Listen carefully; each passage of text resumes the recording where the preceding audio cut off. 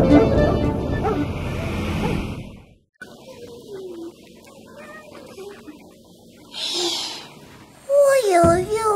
uy, mm. con ternura y amor me educo mejor.